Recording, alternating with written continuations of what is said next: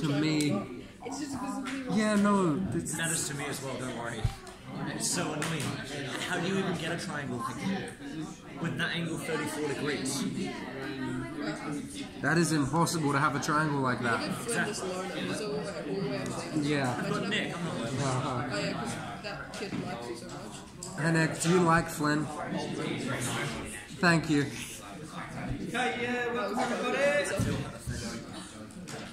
We, began. So uh, today, sine rule. I think it's even easier than the cosine rule. Um, so we'll crunch this out, and then we should have some time to either work on your folio, or if you're done with that, then you can proceed with some problem solving with sine and cosine rule. Okay, just want to point out here, sine rule is non-right angled triangles involving two sides and two angles. When we were doing cosine rule, they had three sides and one angle. Problems involving three sides and one angle. Here, two sides and two angles. Um, there's a couple of ways to represent it. Depends what we're trying to find, if we're trying to find an angle or if we're trying to find a side. So basically, sine of A divided by side A is going to equal sine of B divided by side B and sine of C divided by sine C. And remember, I just said let's always stick with A and B and C are arbitrary, it doesn't matter where you assign them. Um, and then of course, like, um, let's, let's just provide an example of what I mean here. If we've got, if we've got um, 2 divided by 3 is equal to um, uh, 4 divided by 6, okay, obviously this is a true statement. Um, if I flip this fraction, and I'm going to have 3 on 2, and I flip this fraction, okay, obviously it's going to maintain its equality. Okay, so that's all we've done. We've flipped all of the sides, we've inverted them, and so it still maintains that equality. So let's get into these problems, how we're going to solve them. Alright, so firstly we've got angle A here, so we're trying to find an angle. So Ruben, so we need to make sure we label the corresponding side A. Here this is angle B, alright, I'm just going to go A and B, alphabetical, and this is side B. And so then we'll make our statement. Now, if we're trying to find an angle, I recommend we use this formula, alright, any of these. Trying to find a side, we can use any of these, but ultimately it does not matter. Okay, there'll just be a bit of extra algebra involved. Okay, so we're finding an angle, so we're going to make that statement that sine A divided by A. Now, side A corresponds with 15, and that's equal to sine B, so that's sine of 34, divided by 17, divided by side B. Okay? Now this equation I'm rearranging, I want to get this variable a by itself. So I'm just going to multiply first both sides by 15. So I'm going to move the 15 up here. And we've got this sine 34 on 17. Okay, at this stage if you wanted to, you could calculate it to a few significant figures, but we want to um, maintain that through. And so then to get a by itself, it's inverse sine, and then whatever our answer is here, let's plug that in. So I'll calculate that to degrees. Make sure your calculator's in degrees.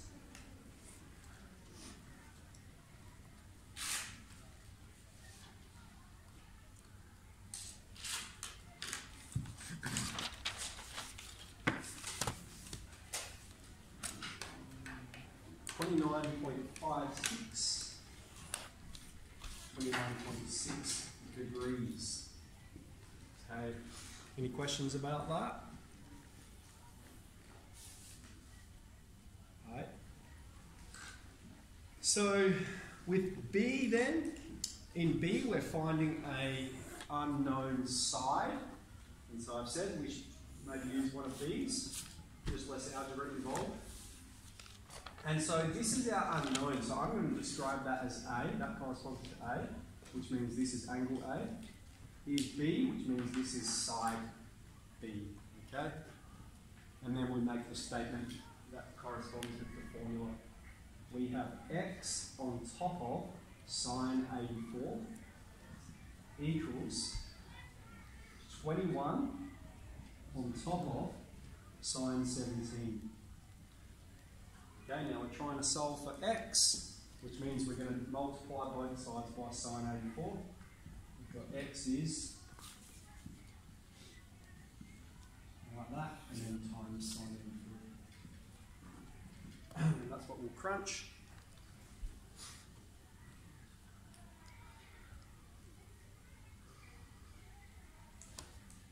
Seventy-one point four three. Oh, excuse me. Here we found an angle. This is not degrees, this is units. We're not given a unit, so let me just write units. Okay, so probably a little bit easier than the than the cosine rule. Um, just I reckon just stick with A and B. Finding angle, finding the side. Any questions? Okay, so that same as last time, I gave you a booklet. I said you're responsible for your own learning. Okay. Now I might talk about that now quickly. All right.